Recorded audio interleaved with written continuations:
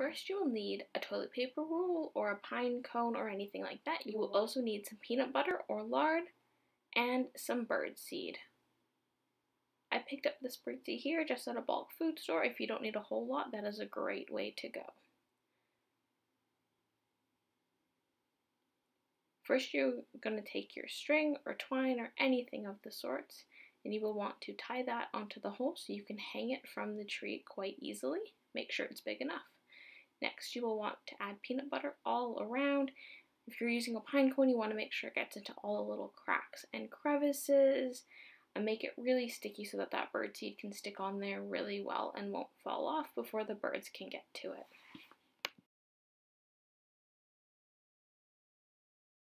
Once you've done that, you will want to roll it in the birdseed. You're going to want to give it one little tap to get all that loose birdseed off so it doesn't get tracked all through your home, and there you go. Please visit rdco.com backslash parks for all our info.